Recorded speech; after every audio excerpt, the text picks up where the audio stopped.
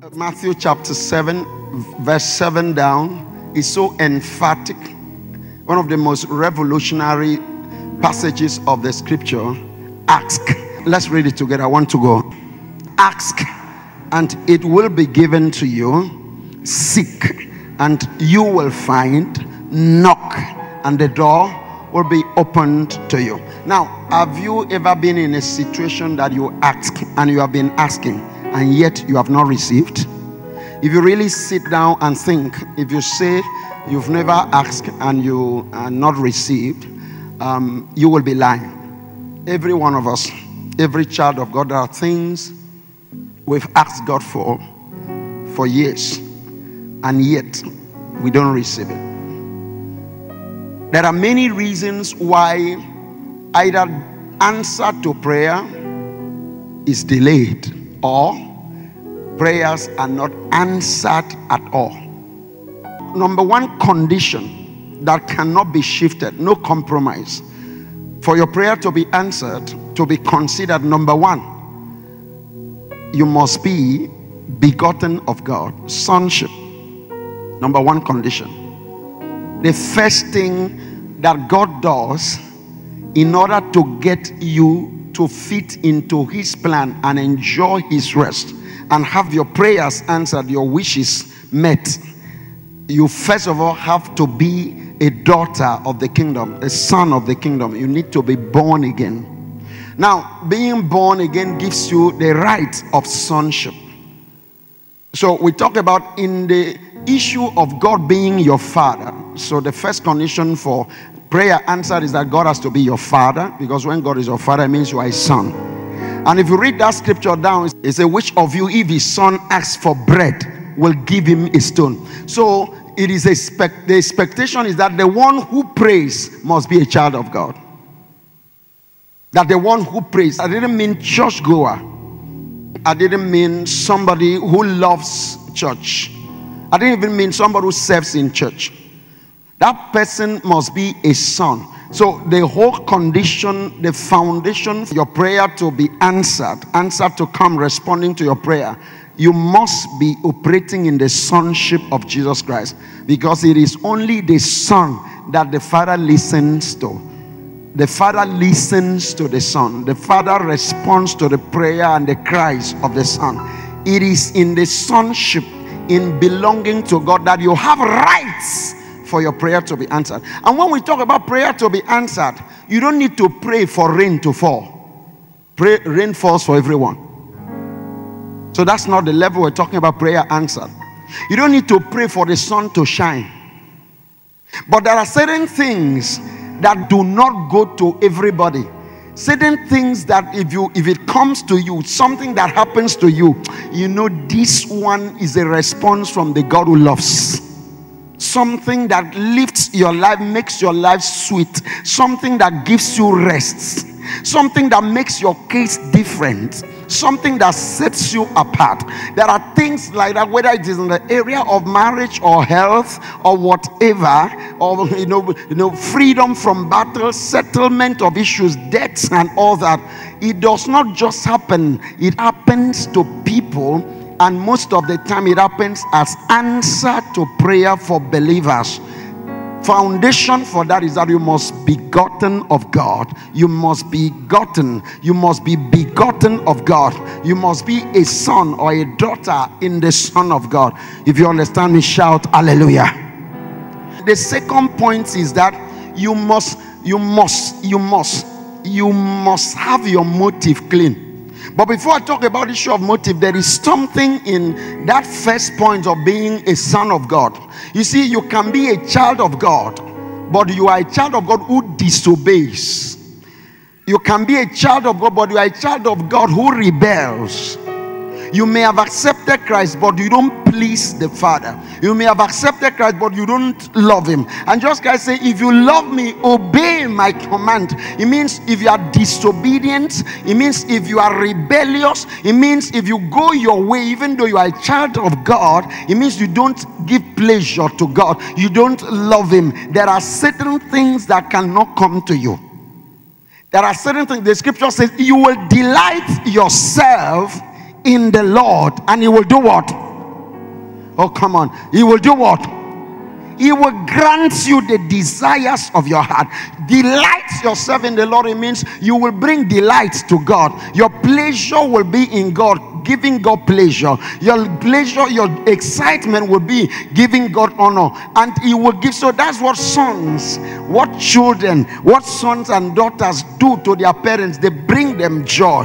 When your son passes exam well, when your son does home chores well, when your son behaves well, you want to give him something beautiful. You want to reward with something. Something uh, generally the child lives under the roof. Generally the child eats food. But there are certain things you will not be happy to give that give to that child if that child doesn't please you if that child doesn't honor you if that child doesn't love you. That is the dimension. It's not just enough to say i'm a son i'm a daughter in the kingdom i'm a child of god. Pleasing the lord living to please him living to honor him to love him these are conditions for prayer to be answered if you understand, say, I have heard it. Number two, your motive. It is James that talks about issue of motive. You don't have because you've not asked, but you asked with wrong motive. You asked to enjoy in selfishness. You asked to live in selfishness. Let's let's refer to James chapter 4 from verse 1 to 4. This is about the second point for prayer to be answered.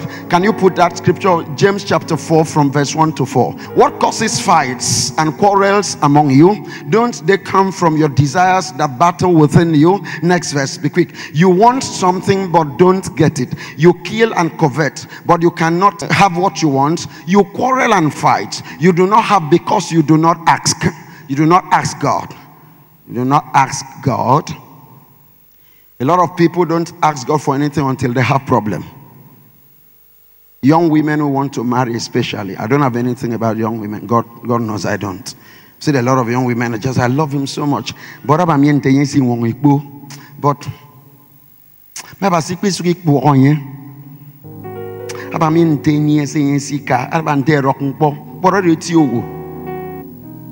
you see you first of all settle then if obo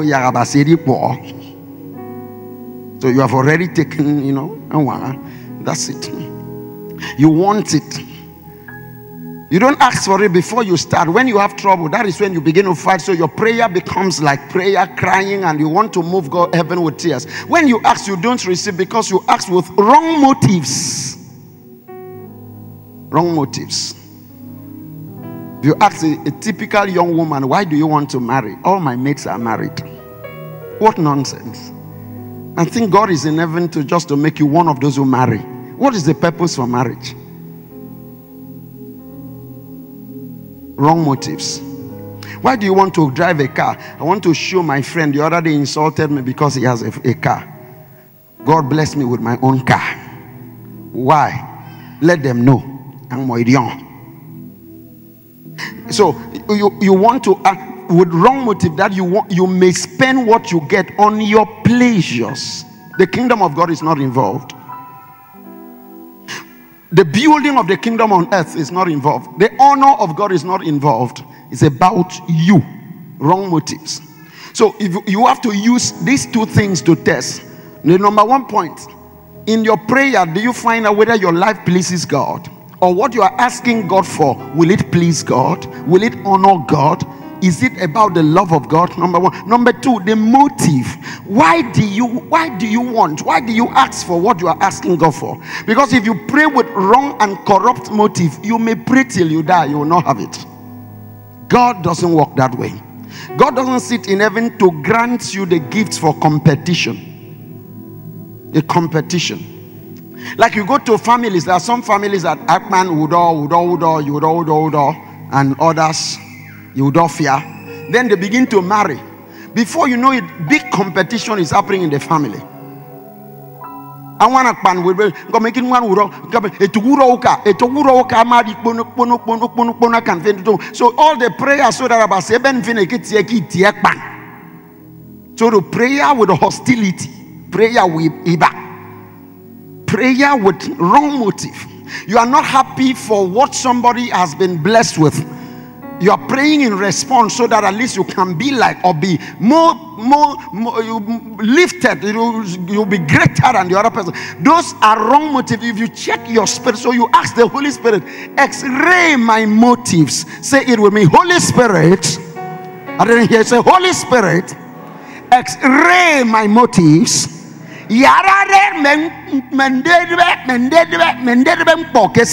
Yarare. You see, you need to come to terms with the the hidden motives. Those are some of the things. Number two thing that, number three thing that we consider why prayers are not answered. When you pray against the will of God. And the fourth condition or the fourth reason why prayer is not answered is what I want to share with you in this service. But I'm connecting you with these other three so that you, you have a sense of where we are coming from the will of God. You see, everything that Jesus said, I did not come to do my will, but to do the will of the one who sent me and to save all. So Jesus Christ, as the Son of God, did not come for his own will. He submitted his own will to the Father. The scripture says in Philippians chapter 2 that he emptied himself. He let go of his own will. He let go of his ego. Ego. He let go of his own everything and took so he lived for the will of the Father. If he had his own way, he would not have died on the cross. He died on the cross because that was the will of God. So your prayer must be in alignment with the will of God for it to be answered. Prayer must be in alignment with the will of God for it to be answered.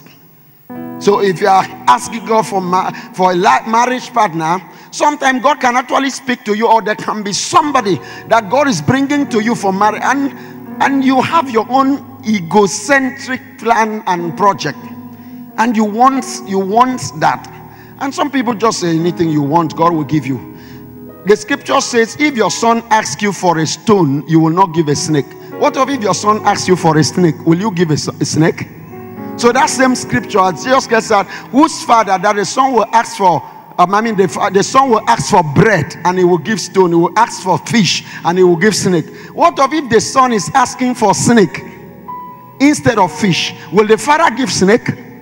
No way. That means you have to find out every time what you are asking God for. Ask God, if this is not according to your will, please, Father, let your will be done. If you hear me say, Hallelujah. That is how Jesus won over the cross.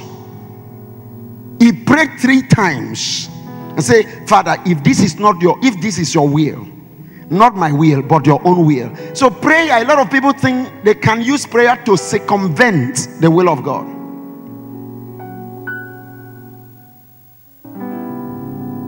I remember a young woman who came to me very desperate. I said, I love him. And he loves me. But there is this thing. There is this thing, you know, and all that. I really want, but I say, okay, have you asked God to let you know whether it's the will of God? Say, Father, don't go there. Let it be the will of God. Pray, tell God, let it be His will. Ah, how can you pray that your will becomes His will? Because that is what you want. That means you change the role. You become God, and God becomes your servant. And that's what we try to do. Say faith. Anything you believe with all your heart, you will receive it. Anything within the will of God. Oh. So, number one is the will of God. There is no way faith can change the will of God for you. Am I talking to somebody? Faith is not changing the will of God because sometimes people preach and make the word of God upside down. It's everything you truly believe. Jesus said it. Everything you pray and believe with your heart that is already done. But if it is not the will of God, you better change your mind. Just say, act as it will. If it is not your will, continue with your will. Praise God. The will of God is a territory within which God operates. God rules the world with his will. Nothing can break his will. His will prevails in all things. His will prevails in all things. And there's a scripture in, in Proverbs that I, this is where we summarize and move to the point of today. Proverbs, Proverbs chapter 19, verse 21. Put it, Proverb. Many are the plans in a man's heart. Let's read it together. I want to go. Many are the plans in a man's heart, but it is the Lord's purpose that prevails. So, after all your plans, if you want your prayer to be answered as a child of God who pleases the Lord, who honors the Father, who, who seeks his pleasure in all things, you have to submit all your plan to his purpose. That means after you have prayed, you have to accept his purpose. If you understand, say, I believe. Praise God. Now let's let's do something. Let's do this is something very beautiful. The fourth condition for prayer to be answered, and the fourth reason why prayers are not answered. The number four thing, growth. And this is like so beautiful. This is something that is sometimes not, not talked about at all when we talk about prayer. The place of growth. You see, I have a daughter who is one year old. I love her, but I cannot give her my truck to drive. My truck belongs to my daughter, oh, for your information. my car belongs to my daughter. But I cannot give her, no matter how much she cries, no matter how much my daughter fasts and prays, no matter how many people she sends to come talk to me to convince me, I will not hand over the key of my car to my daughter to go out. I can take her in my car and we go on a ride and she enjoys it. But she will not drive my car. Why? Not because she doesn't belong to me, that car belongs to her. There are things, in other words, there are things that the greatest prayer you can pray to receive is to grow into it. Please don't miss this. This is where we have a lot of trouble. And this is an area in, in, in Revelation that we don't talk too much about this. Tell people, receive it. If you believe it, you receive it. If you believe it, if you don't have money to fuel car, you don't need car. So don't believe God for car when you can't even maintain a car. You don't even have good shoes to wear. You can't even change your boxers. You can't pay rent yet. And you are believing God for a car. And yes, something is wrong with your head. That's not your need. So prayer will not make God give you a car. What? You don't need a car. You grow into a car. So, because a lot of people just think issue of prayer, they spend one year. They say, I'm believing God. I'm believing God. I'm believing God for, a, for marriage. I'm believing God for marriage. I'm praying God to send me a very godly man. I'm believing God for a very godly woman. But you have not yet grown up to handle issue of serious relationship. So you don't you don't pray for such thing, you grow into it. And by the way, so many people, if you are among those who are praying right now for marriage, you need to go and sit down, submit yourself for tests. Sorry, not HIV tests, not corona tests, maturity tests. Can you handle a man? Can you handle a woman? Can you handle a home? Can you handle a child? Just being a woman is not equal to being a wife and a mother. You need to grow into the maturity of handling another generation. There are people who have children, they abandon them to video games, abandon them to child care. They go and give children to school and forget to go back in the evening so that people will be looking at it, more. Then they will make calls, several numbers. And they say, Oh, sorry. And they will quarrel with the husband. What happened? Didn't you go for so? You sat at home till 7 p.m. None of you realized that your son or your daughter is not at home. Am I lying? Go find out. Go to nursery schools. Children, people who abandon and forget their children, but they are watching movie. Watching movie at home. They are women. But you need them. I'm not yet grown. Those are people, if God wants to give a special gift, He will not give to such a person. You need to grow into certain things. Now, prayers, I used to pray, God, do this, do this, do this. Certain trouble I went through. There are certain deliverances that no, I bind you in the name of Jesus, cannot get certain demons out of your life. Sincerely, I mean it.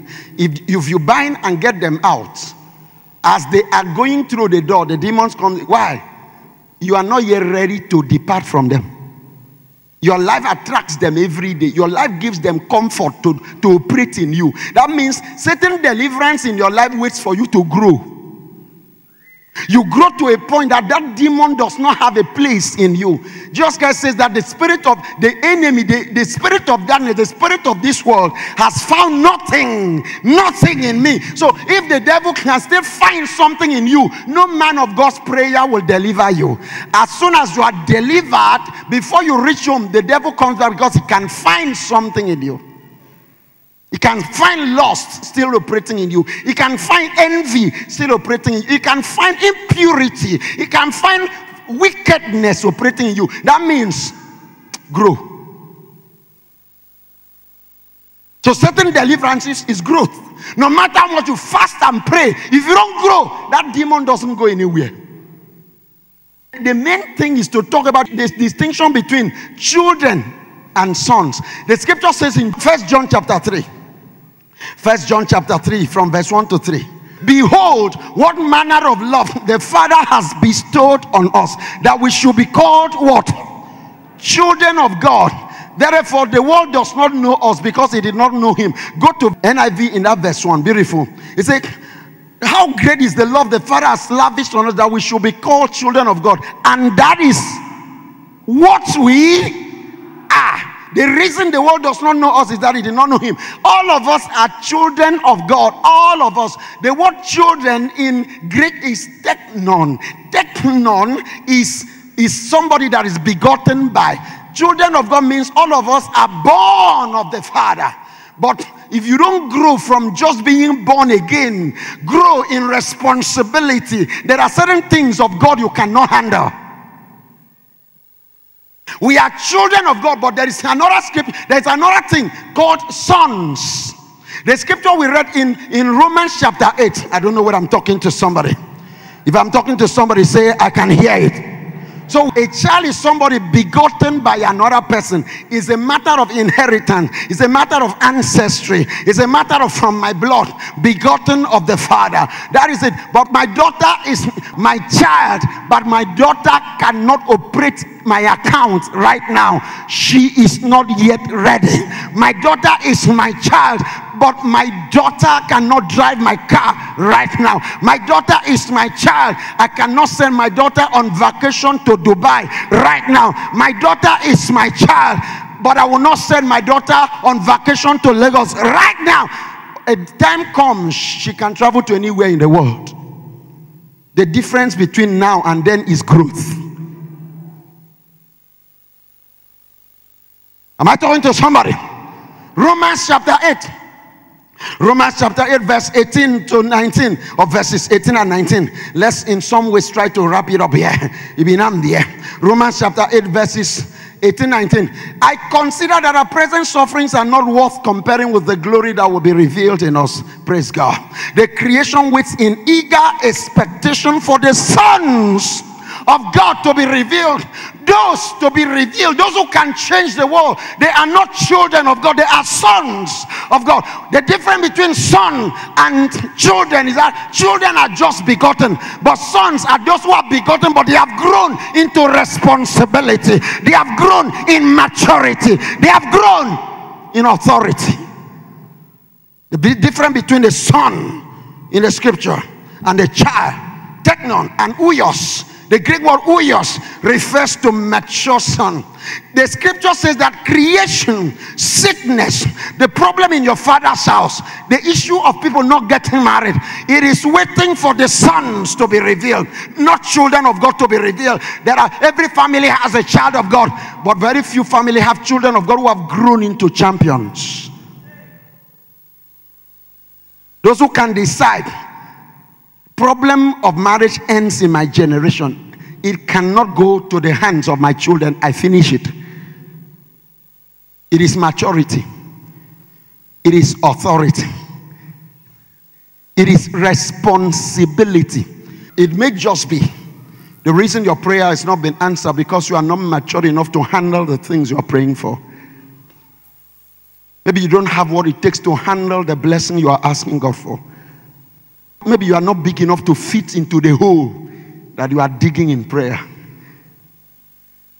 Every Nigerian has a right, but not all Nigerians are lawyers. All of us are children of Nigeria. Lawyers are those, are those who have grown in knowledge and have been qualified to stand in the bar. Not all of us are medical doctors, though we are all Nigerians. So, issue of sickness is waiting for medical experts to be revealed, not children of Nigeria. That you are a child of God doesn't mean you can handle serious things. The transformation and the renewing of your mind, maturity that can give you responsibility. The scripture says you are the light of the world. It's not children that will be the light of the world. These are mature sons and daughters who the way, the way they marry, the way they raise their children, they shine. The way they are bosses, the way they do things, the way they go about things, people can see light shine. That's what creation is waiting for. That's what darkness is waiting for to stop in your family. Children of God who can rise into maturity, who can say, Enough is enough. Not because they are speaking in tongues, because they hear another person, but because they have the authority of the Son and they have the capacity to handle responsibility. Elijah asked Elisha, If you can see me. And Jesus Christ asked the two sons, Can you drink of the cup that I will drink? That means there are things. Can you handle the responsibility of what you are asking God for? If you cannot, then you cannot be given. Rise. Patrick Grace Henry is the president Grace Family Commonwealth of Champions. Worship with us every Sunday, 8:30 a.m. Champions University, and subsequently Extended Family Assembly, 10 a.m. Aired live on Planet 101.1 FM, Uyo.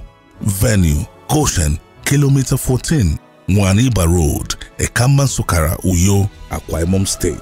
Join us live on Facebook and YouTube at Grace Family Outreach and via the Christ Radio app. This program is sponsored by the Covenant Partners and Friends of Grace Family Outreach. You can be part of this grace revolution by becoming a partner today. To all our partners and friends, we say thank you. For prayers, counseling, and inquiries, please call 0818 043 3225 or 0907 383 8742. Grace Family, raising champions from ordinary people.